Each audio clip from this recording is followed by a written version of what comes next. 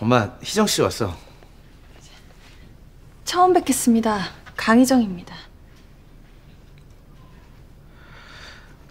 이거 주방에 들어놓고 올게.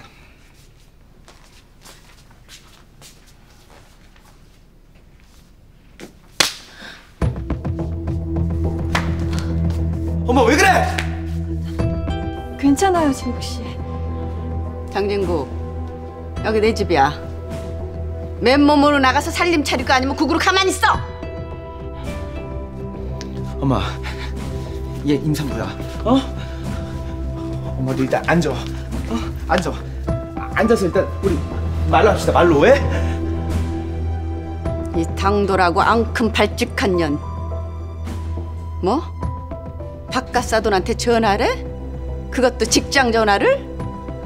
내가 당신 사익감하고 그렇고 그래서 애 가졌어요 뻔뻔도 입은 수지 친구가 얘가 그런 년이다 너 무서워서 같이 살겠니? 그 전화 내가 하라고 했어. 뭐? 오죽하면 그랬겠어. 엄마 어제 어떻게 했어? 나 몰래 정은이 집에까지 데리고 왔잖아. 가은이한테 말해도 소용없어. 엄마까지 그래. 그래서 희정 씨 시켰어. 장인어른하고 잘 모르는 사이니까 차라리 말하기 쉬울 것 같아서. 둘이 짰구나. 너 벌써부터 우리 아들 조종하니?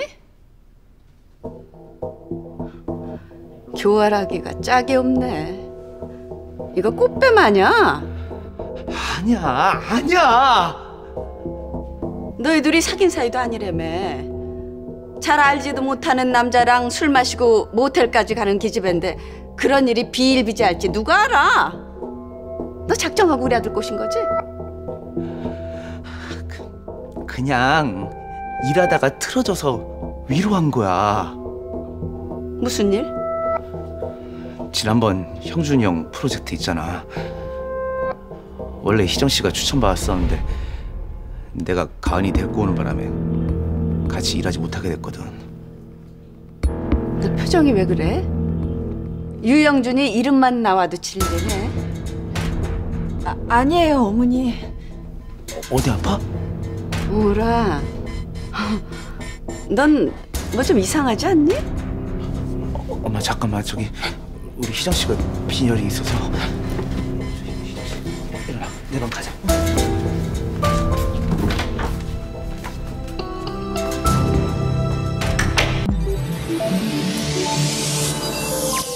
KBS